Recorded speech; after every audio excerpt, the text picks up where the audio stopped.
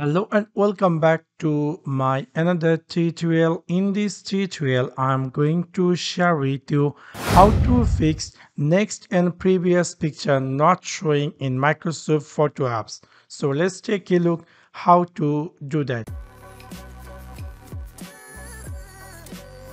You might recently upgrade Windows 10 to 11 and you might be noticed that whenever you try to open a picture gallery and then whenever you try to preview a picture and then we know this is the next button and this is the um, previous button.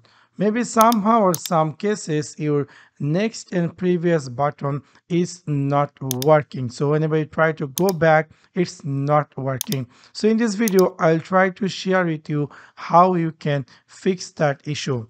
In order to do that first of all you need to for example in this folder picture i have this issue. So you need to choose all this picture and just right click over on it and then click here properties. After click over properties you're going to see skin appear just like this. Click here details and then you're going to see something say remove properties and personal information. Just click over there and then you're going to see another pop-up appear. Just click here remove the flowing properties from this file and then check if there is a date taken is checked just uncheck it and then click here ok and then click here ok and then see is that those picture is working properly or not. If it is not let me share you to the second step. In this step we're going to open our file explorer. After open the file explorer we're going to see upside there is a three dot.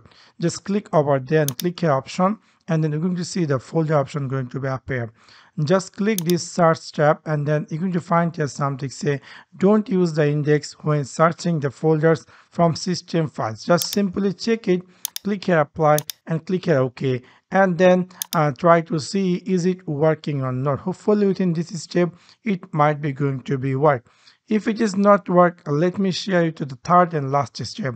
In this step we're going to reset our microsoft photo apps. So for that you need to go in windows 11 start menu and click here setting. After click over setting click here apps and then click here apps and features. And then we're going to see app list going to appear. In search section type here photo p-h-o-t-o and then we're going to find here microsoft photos just click this three dot and then click here advanced options and then we're going to see screen appear just like this.